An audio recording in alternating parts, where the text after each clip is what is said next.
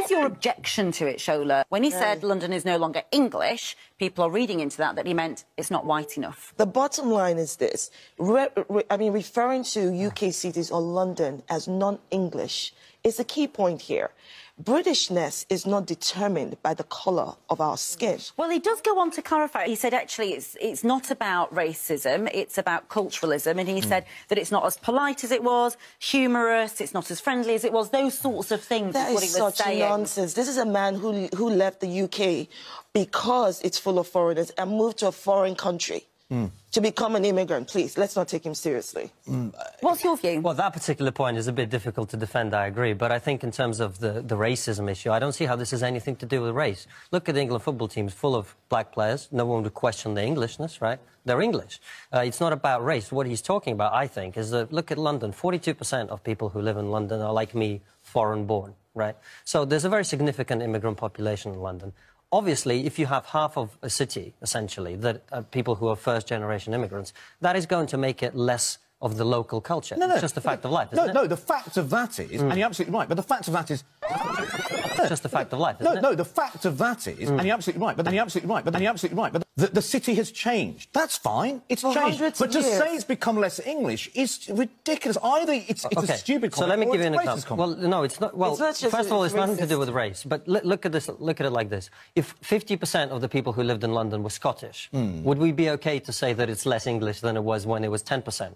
We would say it is Would that be British. okay? Well, no, but answer the question: Would it be okay or not? Would it be okay? I'm trying to hang, get my head around that. If 50% of the people who lived in London were mm. Scottish. Yes. would it be okay to say that London has become less English? well, if they were Scottish, yeah, but- Right. But, so what's the difference? But the, So what's the difference?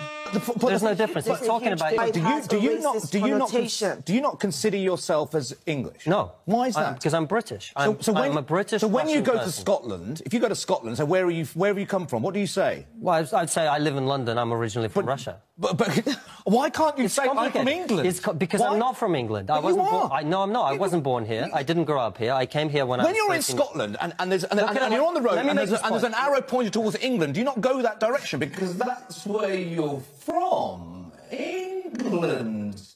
Why I'm not can't you from just- England. I wasn't born here. I, I didn't But, but you just here. said you're My- from. Are you from London? No. But English. Talked about Let me say exactly talking what, what he said Yeah. in his second people. tweet. So he made this first one, and then lots and lots and lots of people went against him. And then he said, I suspect I should apologise for my affection for the Englishness of my upbringing, but in some ways, in some ways, I found it calmer, more polite, more humorous, less tabloid, and less money-oriented Oh, I'm than the one that is replacing it. Now, the thing is, if you, can't like, argue I'm that, not a can you? Londoner, I'm Of from the course I can northwest. argue that. But people will say, you know, all the money that has driven up prices in London, that means people can't live in London anymore, even if they want to, is because there's Russian money here, there's Arab money here, that that's, it's the foreign investment in London. On behalf of all what's driven- Russians, I'm deeply Look- offended no, by no, this. that's what I'm saying. Deeply offended. No, no, no, but what I'm saying is... he's targeting the immigrants. Even with his explanation, he's targeting people. He's saying that you are not English.